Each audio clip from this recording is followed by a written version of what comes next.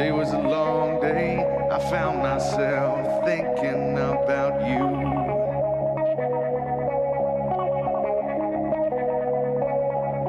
Today was a high day. I still can't believe that all of this is true.